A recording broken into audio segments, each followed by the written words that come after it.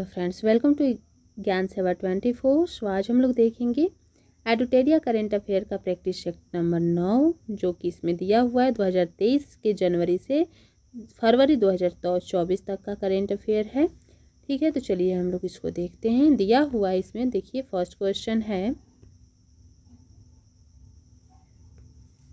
कि निम्नलिखित में से कौन सा online platform I R D A I द्वारा प्रस्तावित किया गया?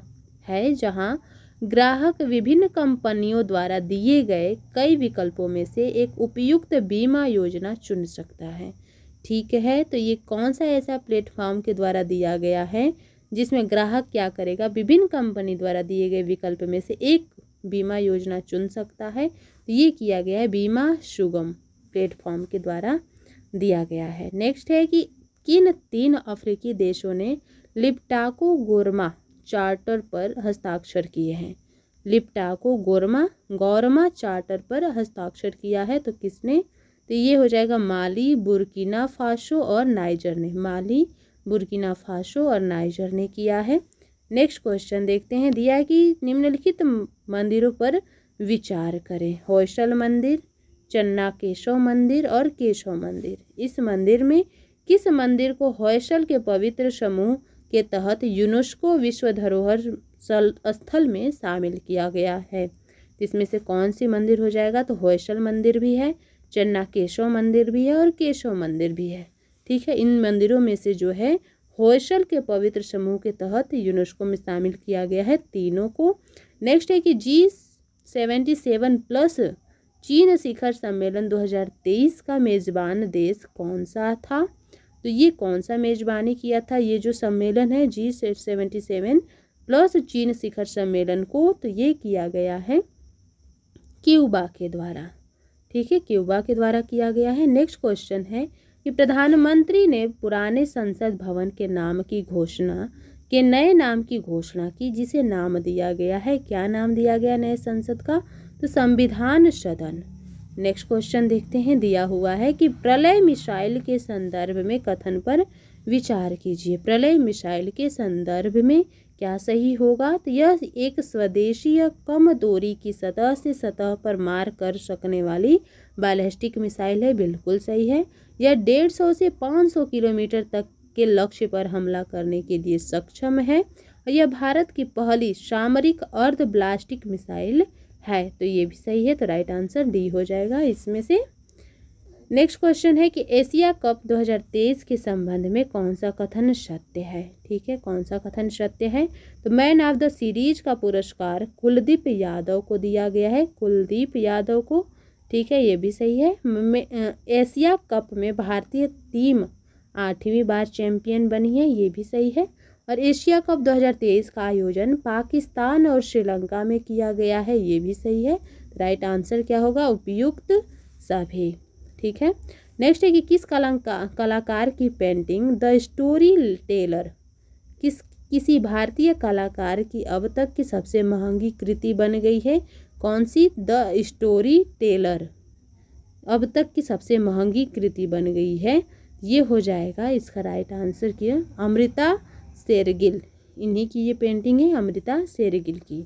नेक्स्ट क्वेश्चन देखते हैं, दिया हुआ है कि शांति निकेतन के संदर्भ में निम्नलिखित कथन पर विचार कीजिए। शांति निकेतन के संबंध में तो दिया हुआ है कि इसकी स्थापना रविंद्रनाथ टैगोर ने की थी। बिल्कुल, यह पश्चिम बंगाल के वीरभूम ज़िले में स्थित है, ये भी सही है। सऊदी अरब में आयोजित विश्व धरोहर समिति के पैंतालीसवें सत्र के दौरान पश्चिम बंगाल के शांति निकेतन को यूनेस्को द्वारा विश्व धरोहर दर्जा दिया गया है। ये भी एकदम करेक्ट है तो राइट आंसर हो जाएगा option number D. Next question है कि नए संसद भवन के सभी छह प्रवेश द्वारों पर जानवरों की मूर्तियाँ अभिभावक प्रतिभाओं के रूप में स्थापित की गई हैं। किस जानवर की मूर्ति अभिभावक प्रतिमा के रूप में स्थापित नहीं की गई है। ठीक है तो कौन सी किसकी मूर्ति है जो स्थापित नहीं की गई है? तो इसमें से राइट आंसर क्या हो जाएगा? शेर की मूर्ति। ठीक है, गरुण की है, अश्व की है, गज की है, लेकिन शेर की मूर्ति नहीं है अभिभावक के रूप में। नेक्स्ट क्वेश्चन है कि पीएम विश्वकर्मा योजना के संदर्भ में निम्नलिखित कथन पर जो है विचार कीजिए, जिसमें दिया हुआ है कि इसका उद्देश्य पारंपरिक शिल्प कौशल को बढ़ावा देना, विश्वकर्मा समुदाय के लोगों को आर्थिक रूप से आत्मनिर्भर बनाना है, बिल्कुल सही है। फिर है कि इसे सितंबर, सत्रह सितंबर 2023 को जब पीएम जो है नरेंद्र मोदी का जन्मदिन के दिन ही लॉन्च किया गया था और यह तेरह हज़ार करोड़ रुपए के परिव्यय के साथ केंद्र सरकार द्वारा पूरी तरह से वित्त पोषित किया जाएगा, ये भी सही है। और इस योजना में अट्ठारह व्यवसायों में लगे कारीगरों और शिल्पकारों को शामिल किया गया है, ये भी सही है। तो राइट आंसर क्या बनने वाला है इसका? Option number D. ठीक है, नेक्स्ट क्वेश्चन देखते हैं। दिया है कि नए संसद भवन में कार्यवाही का पहला दिन। कब आयोजित किया गया था नए संसद भवन में? इसका क्या राइट आंसर बनने वाला है? तो ये हो जाएगा 19 सितंबर 2023 को। 19 सितंबर 2023 को। नेक्स्ट क्वेश्चन देखते हैं। दिया है महिला आरक्षण विधेयक 2023 के संदर्भ में निम्न कथनों पर विचार कीजिए। क्या हो जाएगा इसका? दिया है कि विधेयक संविधान में नए अनुच्छेद 330 ए और 332 ए पेश करने का प्रस्ताव करता है। ठीक है, ये भी सही है। दूसरा है कि आरक्षण अधिनियम के प्रारंभ होने की तारीख 25 वर्ष की अवधि के लिए होगा। ये जो आंसर है, ये गलत हो जाएगा। और तीसरा दिया है कि इसमें लोकसभा, राज्य विधानसभाओं और दिल्ली विधानसभा में महिलाओं के लिए कुल सीटों में एक तिहाई सीट आरक्षित करने का प्रावधान है तो ये सही है। राइट आंसर एक और तीन इनमें से सही हो जाएगा। नेक्स्ट क्वेश्चन दिया हुआ है कि नारी शक्ति वंदन अधिनियम 2023 के संदर्भ में निम्नलिखित कथन पर विचार कीजिए। किसके संदर्भ में तो नारी शक्ति वंदन अधिनियम 2023 के संबंध में, जिसमें दिया हुआ है कि राज्यसभा में 21 सितंबर 2023 को सर्वसम्मति से विधेयक पारित किया गया था। जी, बिल्कुल सही है। कि लोकसभा में 20 सितंबर 2023 को विधेयक पारित किया गया था, ठीक है? और दिया हुआ है कि यह विधेयक नए संसद भवन में दोनों सदनों द्वारा पारित किए जाने वाला पहला कानून है। तो यहाँ पर राइट आंसर तीनों हो जाएगा, पहला, दूसरा और तीसरा। तीनों सही है, ठीक है? राज्यसभा में 21 सितंबर को और लोकसभा में 20 सितंबर को और दोनों सदन में द्वारा पारित करने वाला पहला जो है कानून है। नेक्स्ट क्वेश्चन है कि भोजन और पोषण के क्षेत्र में अनुसंधान और अनुप्रयोग के लिए 2023 नॉर्मन नॉर्मन ई बोरलाग पुरस्कार के लिए किसे नामित किया गया है? भोजन और पोषण के क्षेत्र में अनुसंधान और अनुप्रयोग के लिए। तो ये हैं डॉक्टर स्वाति नायक को 2023 नार्मन ई बोरलाग पुरस्कार से सम्मानित किया गया। नेक्स्ट है कि कनाडाई थिंक टैंक फ्रेजर इंस्टीट्यूट द्वारा जारी एक रिपोर्ट के अनुसार कौन सा देश हांगकांग को पीछे छोड़ते हुए विश्व की सबसे मुक्त अर्थव्यवस्था बन गया है? तो हांगकांग को पीछे छोड़ते हुए विश्व का सबसे मुक्त अर्थव्यवस्था कौन सा बन गया है? तो ये बन गया है सिंगापुर। राइट आंसर सिंगापुर हो जाएगा। नेक्स्ट क्वेश्चन है कि बेलग्रेड, सर्बिया में आयोजित विश्व कुश्ती चैंपियनशिप 2023 में भारतीय महिला पहलवान अंतिम पंघाल ने। कौन सा पदक जीता है, कहाँ पे? तो बेलग्रेड सर्बिया में आयोजित हुआ है, जो विश्व कुश्ती चैंपियनशिप 2023 में। भारतीय महिला अंतिम पंघाल ने कौन सा पदक जीता है? यहाँ पे राइट आंसर बनने वाला है, कांस्य पदक। नेक्स्ट है कि उत्तर प्रदेश के पहले अंतर्राष्ट्रीय व्यापार मेले का आयोजन कहाँ किया गया है? अंतर्राष्ट्रीय व्यापार मेले का, उत्तर प्रदेश के पहले अंतर्राष्ट्रीय व्यापार मेले का ये जो किया गया है ग्रेटर नोएडा में किया गया है। राइट आंसर ग्रेटर नोएडा हो जाएगा। नेक्स्ट है, हाल ही में विज्ञान प्रौद्योगिकी और नवाचार के क्षेत्र में नए राष्ट्रीय पुरस्कारों की स्थापना की गई है। इन पुरस्कार को किस नाम से जाना जाता है? ठीक है तो विज्ञान, प्रौद्योगिकी और नवाचार के क्षेत्र में जो पुरस्कार की स्थापना किया गया है, उसको, पुरस्कार को किस नाम से जानते हैं? तो राष्ट्रीय विज्ञान पुरस्कार के नाम से जाना जाता है। ठीक है नेक्स्ट है कि हाल ही में भारत की पहली ट्रैफ़िक लाइट फ्री सिटी कौन सी है? ट्रैफ़िक लाइट फ्री सिटी कौन सी बनी है भारत की पहली? तो राइट आंसर क्या हो जाएगा? कोटा। कोटा जो है ट्रैफ़िक लाइट फ्री सिटी बनी है। नेक्स्ट क्वेश्चन है कि भारत की पहली मानव युक्त पनडुब्बी का नाम क्या है? तो क्या हो जाएगा? इसका नाम हो जाएगा मस्ती मत्स्य छः हज़ार। मत्स्य सॉरी मत्स्य छः हज़ार हो जाएगा। इस मानव युक्त पनडुब्बी का नाम। नेक्स्ट है कि किसने भारत की जी ट्वेंटी प्रेसिडेंसी पर एक ई बुक का पीपुल्स जी ट्वेंटी का अनावरण किया है? भारत की जी ट्वेंटी प्रेसिडेंसी पे एक ई बुक का अनावरण किया गया है, जिसका नाम है पीपुल्स जी ट्वेंटी तो ये जो है, किसने किया है इस बुक का अनावरण। तो ये किया गया है अपूर्व चंद्रा के द्वारा। याद रखें, अपूर्व चंद्रा के द्वारा किया गया है। नेक्स्ट क्वेश्चन है कि लोकसभा में महिला आरक्षण बिल, नारी शक्ति वंदन अधिनियम एक संविधान संशोधन विधेयक किसने पेश किया है? नारी शक्ति वंदन अधिनियम का जो है एक संविधान संशोधन विधेयक किसके ने पेश किया है? तो क्या राइट आंसर हो जाएगा? अर्जुन मेघवाल, याद रखिए, नारी शक्ति वंदन अधिनियम जो है, अर्जुन मेघवाल के द्वारा पेश किया गया है लोकसभा में। नेक्स्ट कि ब्राज़ील के रियो डी जेनेरियो ने आयोजित आईएसएसएफ निशानेबाजी विश्व कप 2023 में भारत की इलावे नील वलारिवन ने 10 मीटर एयर राइफल श्रेणी में कौन सा पदक जीता था? कौन सा पदक जीता है इन्होंने तो राइट आंसर क्या बन जाएगा? स्वर्ण पदक, ठीक है? नेक्स्ट क्वेश्चन दिया है कि अमेरिका के यूजीन में खेले गए डायमंड लीग फाइनल्स में नीरज चोपड़ा ने कौन सा पदक जीता? इसमें तो अमेरिका के यूजीन में खेले गए डायमंड लीग फाइनल में नीरज चोपड़ा ने कौन सा पदक जीता? तो राइट आंसर हो जाएगा, जो है रजत पदक। नेक्स्ट हो जाएगा मॉर्निंग कंसल्ट द्वारा जारी ग्लोबल लीडर अपूर्वल। सर्वेक्षण के अनुसार विश्व के सबसे लोकप्रिय नेता कौन है? ठीक है तो मॉर्निंग कंसल्ट द्वारा जारी है ग्लोबल लीडर अपूर्वल सर्वेक्षण के अनुसार है। लोकप्रिय नेता कौन है? तो राइट आंसर नरेंद्र मोदी हो जाएँगे। नेक्स्ट दिया है कि विश्व ओजोन दिवस 2023 की थीम क्या थी? तो इसकी थीम क्या थी? तो हो जाएगा Montreal protocol fixing the ozone layer and the reducing climate change ठीक है? ये हो जाएगा इसका तो विश्व ओजोन दिवस 2023 की थीम। नेक्स्ट दिया है कि किसने सिंगापुर की लू कुआन यू एक्सचेंज फेलोशिप से सम्मानित किया गया है? किसे किया गया है? सिंगापुर की Lee Kuan Yew exchange fellowship से सम्मानित। इसका राइट आंसर हो जाएगा हेमंत बिस्वा शर्मा को। हेमंत बिस्वा शर्मा को किया गया है। नेक्स्ट है कि केंद्रीय नागरिक उड्डयन मंत्री के द्वारा कहाँ पर उड़ान भवन का उद्घाटन किया गया है?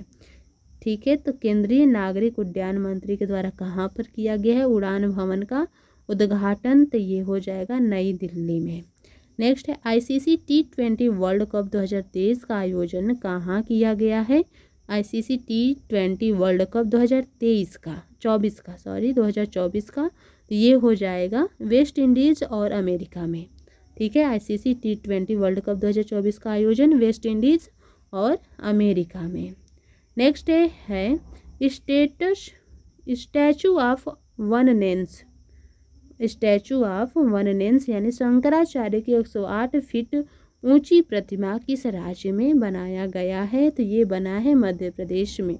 नेक्स्ट है जुलाई 2023 में किसे लोकमान्य तिलक राष्ट्रीय पुरस्कार से सम्मानित किया गया? है तो किसको सम्मानित किया गया? लोकमान्य तिलक राष्ट्रीय पुरस्कार से। तो ये हो जाएँगे नरेंद्र मोदी को सम्मानित किया गया है। नेक्स्ट क्वेश्चन देखते हैं। दिया हुआ है कि उपन्यास, वेस्टर्न लेन, जिसे 2023 बुकर पुरस्कार के लिए सूचीबद्ध किया गया है, किसके द्वारा लिखा गया है? कौन सा उपन्यास? तो वेस्टर्न लेन। ये जो है, बुकर पुरस्कार के लिए सूचीबद्ध हुआ है तो किसने लिखा है? Western lane. तो ये लिखा गया है चेतना मारू के द्वारा। राइट आंसर, चेतना मारू। नेक्स्ट एक इसरो द्वारा, पी एस एल भी सी फिफ्टी सिक्स जो है रॉकेट से किस देश के डी एस सार उपग्रह को लॉन्च किया गया है? D S S A R उपग्रह को जो है, किस देश के उपग्रह है जिसको लॉन्च किया गया है? P S L V C छप्पन रॉकेट से। तो ये जो किया गया है, सिंगापुर का उपग्रह को। नेक्स्ट क्वेश्चन है, प्रतिष्ठित छात्र अकादमी पुरस्कार श्रेणी के सेमीफाइनल तक पहुँचने वाली फ़िल्म चंपारण मटन। किस भाषा में बनी है? चंपारण मटन। तो ये जो बनी, बनाई गई है, हो जाएगा वज्जिका। ठीक है? वज्जिका में बना है, इसकी भाषा है वज्जिका। नेक्स्ट है कि हाल ही में किस संस्थान ने digital India R I S C V संगोष्ठी की मेजबानी की है? किस संस्थान ने किया digital India R I S C V संगोष्ठी की मेजबानी। तो ये किया गया है आईआईटी मद्रास के द्वारा। राइट आंसर आईआईटी मद्रास के द्वारा किया गया है। नेक्स्ट है कि किस देश के वैज्ञानिकों ने एल के नाइन नामक एक ऐसी सामग्री के निर्माण का दावा किया है जो कमरे के तापमान पर अति चालकता का संचालन कर सकती है। ठीक है, कमरे के तापमान पे अति चालकता का संचालन कर सकती है तो ऐसी सामग्री का निर्माण जो है किस देश के वैज्ञानिकों ने किया है? तो राइट आंसर हो जाएगा इसका दक्षिण कोरिया के वैज्ञानिक ने। नेक्स्ट अगस्त 2023 में डब्ल्यूएचओ द्वारा किस देश को ट्रैकोमा मुक्त घोषित किया गया है? ट्रैकोमा मुक्त घोषित किया गया है किस देश को? डब्ल्यूएचओ के द्वारा। तो ये किया गया है इराक को। ठीक है, इराक राइट आंसर नेक्स्ट दिया है कि जर्मन के बर्लिन में आयोजित विश्व तीरंदाजी चैंपियनशिप के व्यक्तिगत कंपाउंड स्पर्धा में अदिति स्वामी ने कौन सा पदक जीता है? कंपाउंड स्पर्धा में अदिति स्वामी ने ये इनके द्वारा जीता गया है स्वर्ण पदक, ठीक है? जर्मन के बर्लिन में आयोजित हुआ तीरंदाजी चैंपियनशिप, उसमें जो है व्यक्तिगत कंपाउंड स्पर्धा में अदिति स्वामी ने स्वर्ण पदक जीता। नेक्स्ट है पूर्व प्रधानमंत्री और पाकिस्तान तहरीक ए इंसाफ प्रमुख इमरान खान को किस मामले में तीन साल जेल की सज़ा सुनाए जाने के बाद गिरफ़्तार कर लिया गया? ठीक है तो ये जो है, किस मामले में तीन साल की सज़ा सुनाई गई है? तो तोशा खाना मामला तोशा खाना मामला में। नेक्स्ट है कि भारत का पहला राष्ट्रीय स्तर का खेल विश्वविद्यालय कहाँ स्थापित हुआ है? राष्ट्रीय स्तर का खेल विश्वविद्यालय, ये जो किया गया है मणिपुर में है। दूसरा है कि विश्व कॉफ़ी सम्मेलन और एक्सपो 2023 का आयोजन कहाँ किया गया है? तो ये किया गया है बेंगलुरु में। ठीक है, बेंगलुरु में किया गया है। नेक्स्ट देखते हैं, क्वेश्चन है, रेफिनेटिव आइकन की रिपोर्ट के अनुसार दुनिया की सबसे मूल्यवान कंपनी कौन सी है? रेफिनेटिव आइकन रिपोर्ट के अनुसार बताना है, दुनिया की मूल्यवान कंपनी कौन सी हो जाएगी? तो ये है एप्पल। नेक्स्ट कि हाल ही में यूनेस्को ने किस देश के शहर वेनिस और उसके लैगून को खतरे में होने के कारण इसे विश्व विरासत की सूची में जोड़ने की सिफारिश की है। तो ठीक है, किस देश के शहर वेनिस और उसके लैगून को? ये हो जाएगा राइट आंसर इटली के। ठीक है? नेक्स्ट दिया है कि दक्षिण एशिया में पहला सेंटर फॉर स्पीसीज सर्वाइवल। किस देश में स्थापित किया गया है? दक्षिण एशिया में जो है, पहला जो है सेंटर फॉर स्पीसीज सर्वाइवल। किस देश में स्थापित किया जाएगा? तो ये हो जाएगा भारत में। नेक्स्ट है कि निम्नलिखित में से किस ई कॉमर्स कंपनी ने श्रीनगर के डल झील पर आई हैव स्पेस प्रोग्राम के तहत देश का पहला तैरता हुआ स्टोर लॉन्च किया है। तो किस ई कॉमर्स कंपनी के द्वारा किया गया है? Right answer Amazon India next है कि लोक एवं जनजातीय प्रदर्शन कला महोत्सव उत्कर्ष एवं अंतर्राष्ट्रीय साहित्य उत्सव उन्मेष का आयोजन किस राज्य में है? उत्कर्ष और उन्मेष का आयोजन तो ये किया गया है मध्य प्रदेश में। ठीक है नेक्स्ट है कि शिक्षा मंत्री धर्मेंद्र प्रधान ने उल्लास ऐप लॉन्च किया। तो उल्लास ऐप का पूर्ण, जो है, पूर्ण रूप क्या होगा? फुल फॉर्म उल्लास ऐप का इसका हो जाएगा understanding life long learning for all in society second number सही हो जाएगा। एंड देखते हैं क्वेश्चन नेक्स्ट दिया है कि धर्मेंद्र प्रधान और एस जयशंकर ने कहाँ संयुक्त रूप से स्टडी इन इंडिया पोर्टल का शुभारंभ किया? जो भारत में अंतर्राष्ट्रीय विद्यार्थियों के शैक्षणिक यात्रा को सरल बनाएगा।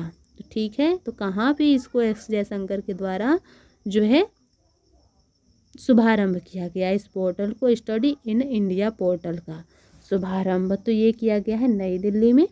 नेक्स्ट है कि दक्षिण एशिया में पहला सेंटर फॉर सर्वाइवल किस देश में स्थापित किया जाएगा? दक्षिण एशिया में का पहला सेंटर फॉर सर्वाइवल जो है किस देश में? इसका राइट आंसर हो जाएगा भारत में।